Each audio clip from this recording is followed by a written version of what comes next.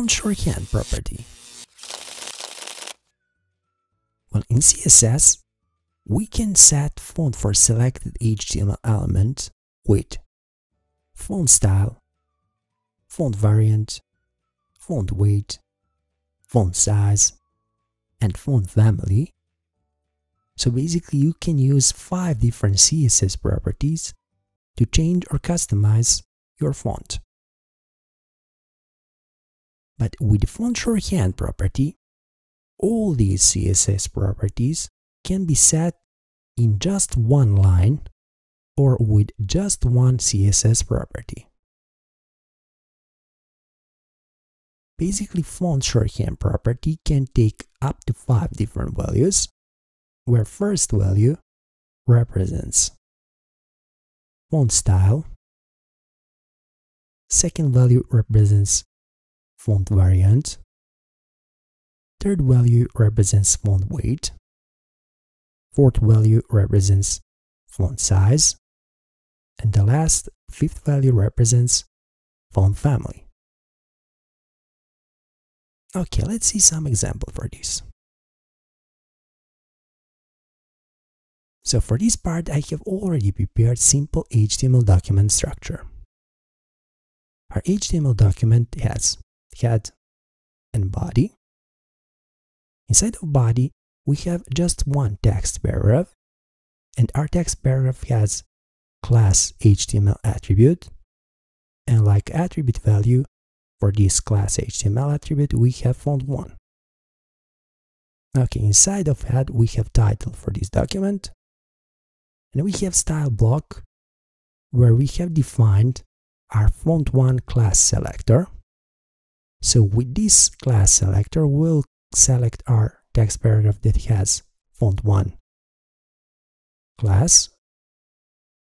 And basically for our font 1, we will set font style that is italic, font variant that is small caps, font weight that is bold, font size that is 24 pixels, and font family that is Helvetica. I save this document like index.html on the desktop. Okay, so let's minimize our text editor. This is our web page, so let's open it. And voila, this is how our web page looks like for now. So let's analyze it. Let's click on the right click Let's select inspect.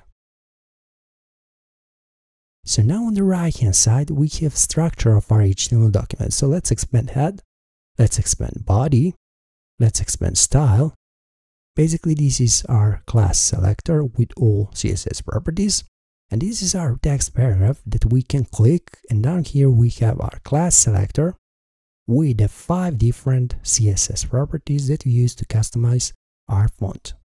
If we uncheck this, you can see how every change or every property will affect your text paragraph.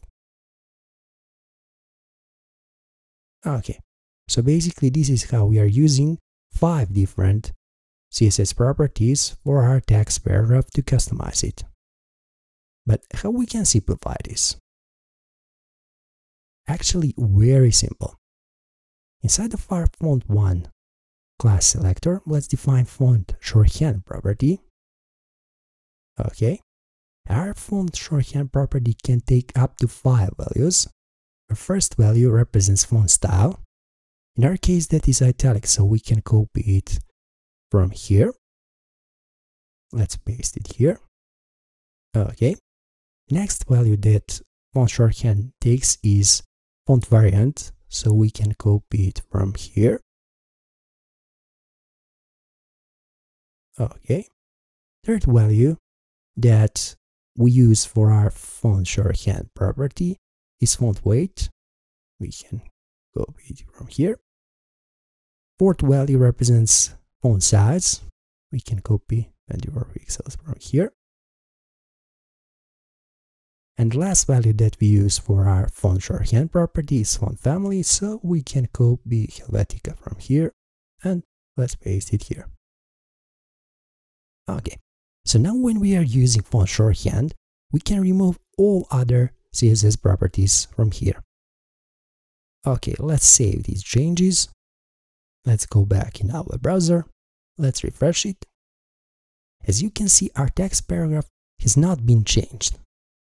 But if you take a look in the code on the right hand side, you can see that our class selector, instead of five different CSS properties, use just one CSS property with all that values inside of it.